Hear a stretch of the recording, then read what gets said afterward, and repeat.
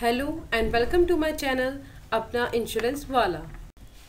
आज इस वीडियो में मैं आपको जीवन बीमा के बारे में बताऊँगी कि जीवन बीमा क्या है, जीवन बीमा क्यों खरीदें और जीवन बीमा कैसे काम करता है। देखिए, हमारी लाइफ में बहुत सारी चीज़ें होती हैं जो अचानक हमारे साथ हो जाती हैं, जैसे कोई एक्सीडेंट हो जाना या किसी प्रकार की बीमारी हमें हो जाना। लेकिन एक ऐसी चीज़ है जिसके बारे में हमें पता होता है, वो है मृत्यु, जो ज़िंदगी की सच्चाई होती है। देखिए इंश्योरेंस एक ऐसा प्रोडक्ट है जो अनचाहे नुकसान से हमें सुरक्षित करवाता है, आपके न रहने पर भी आपके परिवार को सुरक्षा प्रदान करता है। चलिए, आगे बढ़ते हैं और समझते हैं कि लाइफ इंश्योरेंस कैसे काम करता है।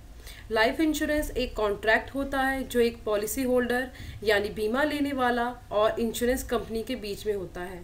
यानी पॉलिसी होल्डर के साथ कोई भी दुर्घटना होने पर उसके परिवार को एक गारंटेड पैसा मिलता है, जिससे उसका परिवार आर्थिक तंगी से बच पाता है। चलिए एक एग्ज़ाम्पल से समझते हैं कि जब आप कोई पॉलिसी लेते हैं तो हर साल कुछ पैसा प्रीमियम के रूप में आप जमा करते हैं और बदले में दुर्घटना से मृत्यु होने पर बीमा कंपनी आपके परिवार को एक फिक्स रकम दे देती है और आपके जीवित रहने पर एक तय समय के बाद बोनस जोड़कर आपको पैसा वापस दिया दिया जाता है।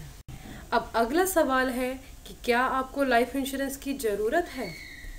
अगर आपके ऊपर कोई निर्भर है, जैसे कि आपके माता पिता आपके भाई बहन या पति पत्नी या बच्चे तो आपको आज ही इंश्योरेंस करवाना चाहिए।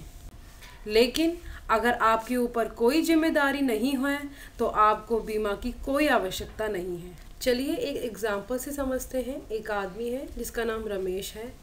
उनकी उम्र है पैंतीस साल और वो घर में अकेले कमाने वाले हैं। उनकी एक पत्नी और दो प्यारे से बच्चे हैं और उन पर कार लोन और हाउस लोन दोनों हैं। और एक दिन अचानक रमेश अपने परिवार के बीच में नहीं रहता है। तो उससे क्या फ़र्क पड़ेगा? और रमेश ने कोई इंश्योरेंस भी नहीं कराया हुआ है? तो परिवार में जो पैसा आ रहा था, वो आना बंद हो जाएगा। कहीं ना कहीं परिवार को आर्थिक तंगी से गुजरना पड़ेगा। जो घर, जिस, जो लोन पे घर लिया हुआ था रमेश ने, हो सकता है कि वो भी परिवार से ले लिया जाए, क्योंकि हर महीने ईएमआई नहीं जा रही है। और जो बच्चे हैं, वो आगे जाके कॉलेज पढ़ना चाहते हैं तो उनका वो सपना भी अधूरा रह जाएगा।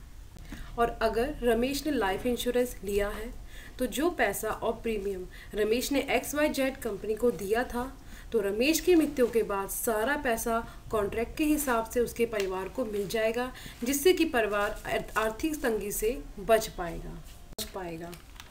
तो आज ही आज ही अपने भविष्य के बारे में निर्णय लें अपनी जिम्मेदारियाँ पूरी करने के लिए लाइफ इंश्योरेंस ज़रूर करवाएँ।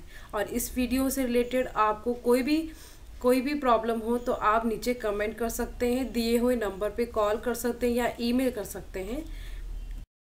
Thank you for watching please like और सब्सक्राइब माई चैनल